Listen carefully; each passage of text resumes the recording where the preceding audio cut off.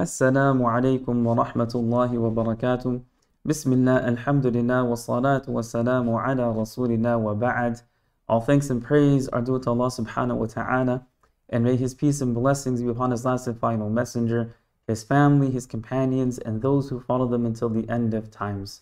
Welcome to the last and final episode of Reflections 2022. Thank you for joining us this entire month of Ramadan. Thank you to the entire Muslim Matters team. May Allah subhanahu wa ta'ala continue to bless all of you and accept all of your good deeds. Thank you to all of the you know behind the scenes people here at the Institute of Knowledge. May Allah subhanahu wa ta'ala continue to bless them and may Allah subhanahu wa ta'ala increase them in knowledge and in practice. We have been exploring various reflections um, in the Quran.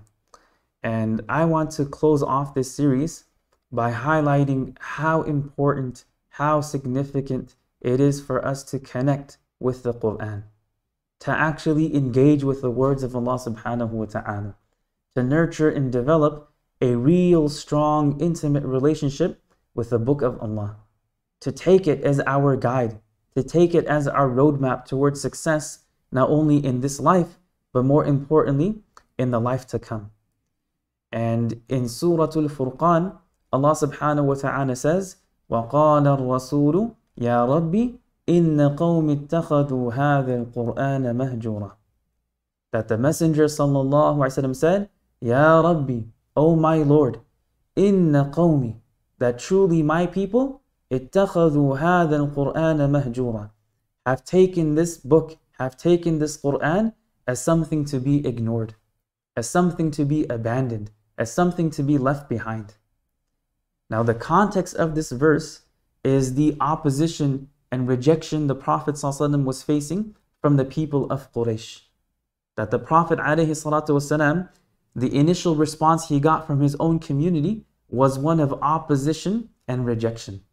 And they tried literally everything they could to stop him and prevent him from spreading the truth, from spreading the message of Islam. They would do anything they possibly could to stop and prevent people from listening to him as well. And one of the methods they came out with was to make these wild accusations and to accuse the Prophet ﷺ of na'udhu billah being a poet or a madman or accuse him of being a magician. And they would claim that the Quran is simply poetry or it's magic or that he learned it from someone else or that it's a product of human behavior or uh, it's a product of human effort.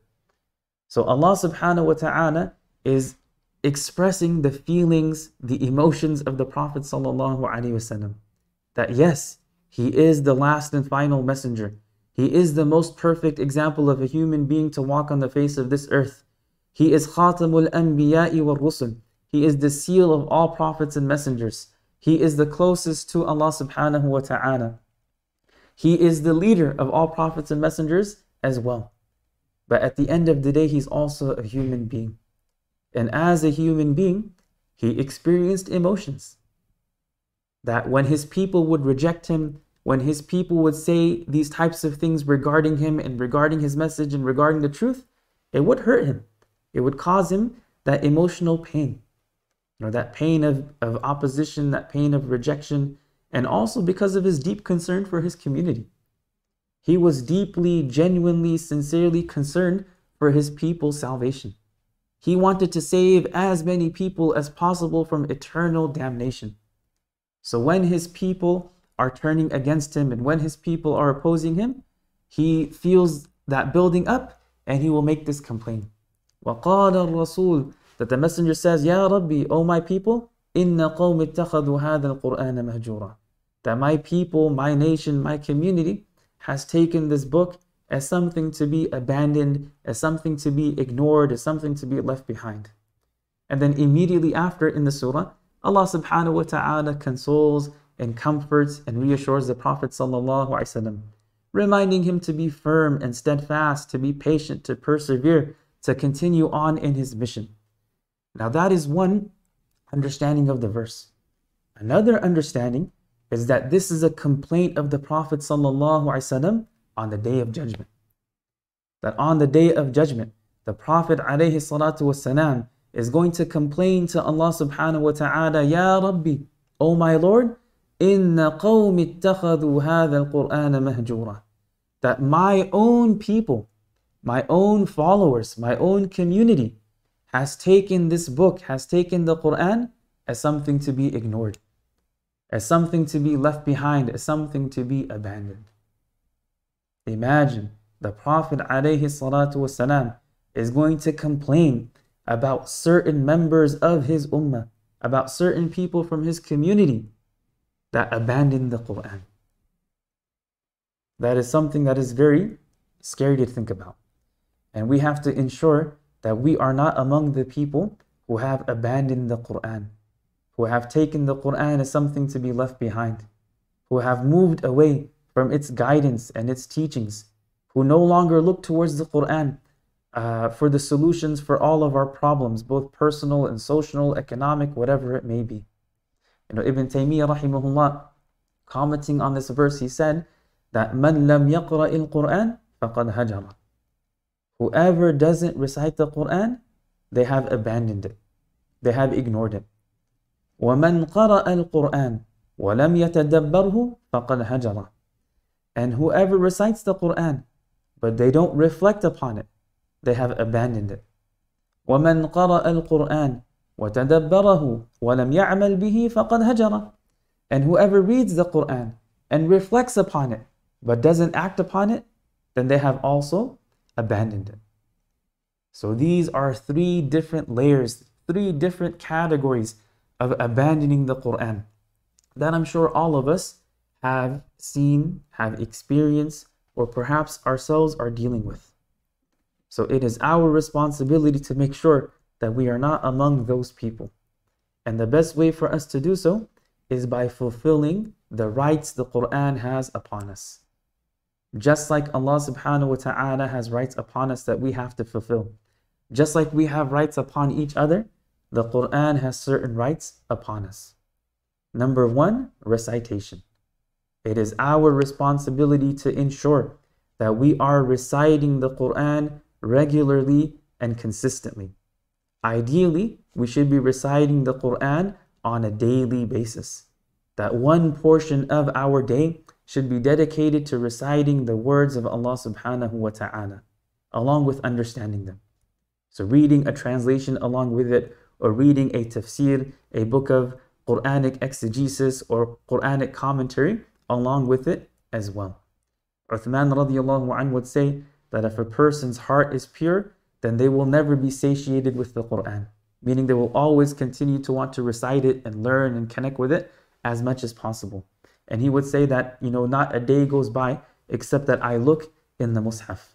So that should be part of our daily routine. Number one, recitation. Number two, memorization. That we all should try our best to memorize as much Quran as possible. Now that doesn't mean every single individual has to become a hafiz of the Quran. That's not a requirement, that's not necessary, that's not fard, that's not wajib. But all of us should have some portion of the Quran memorized. And it shouldn't be that the Quran that I memorized when I was 8, 9, 10 years old is the same amount that I have memorized when I'm 28, 29 years old. There should be this gradual progression. We should be increasing the amount of Quran we have memorized as we progress through life. Again, that doesn't mean we all have to become huffaz, but memorize as much as possible. The Prophet ﷺ said, a heart that does not have any Quran in it is like a abandoned, desolate house. So we have to illuminate and bring life to our hearts with memorization of the Quran. Number three is listening. That along with reciting and memorizing, it is also important to listen to the Quran being recited. And when we're listening to the Quran, we should be listening with absolute 100% focus and concentration and mindfulness. We're listening attentively.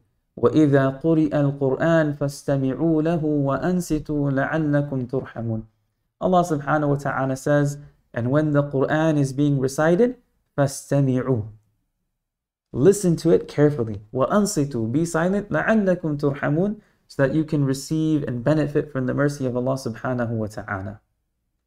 So again, we have recitation, memorization, listening. Number four, contemplation and reflection. At-tadabbur. That reflecting upon the meanings of these verses. What do these words actually mean? What is being said?